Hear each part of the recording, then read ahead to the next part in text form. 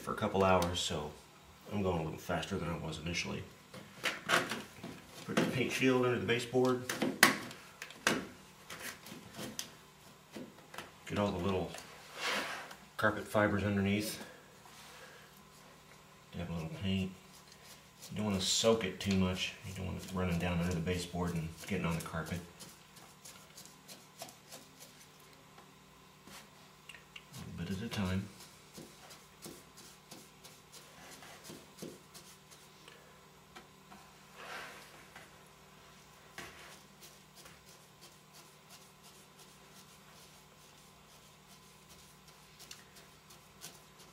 I prefer to do a section at a time, that way I only have to go around the room one time.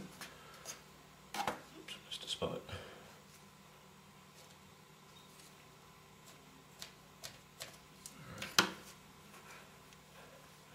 Make a mark in the carpet where my shield ended up.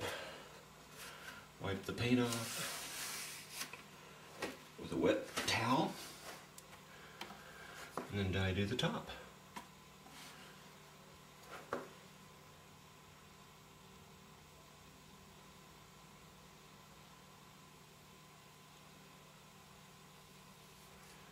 Masking tape involved.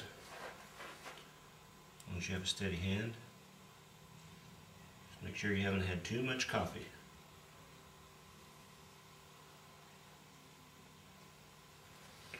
Alright, and it's just as easy as filling in where you haven't painted.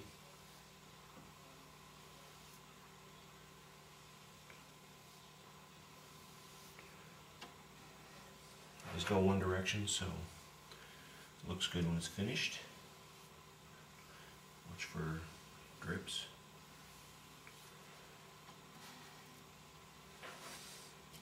The paint I'm using is thick enough that I'm not worried about dripping it on the carpet from my brush because I don't get that much on the brush at any one time. So, depends on how confident you are in your paint dripping.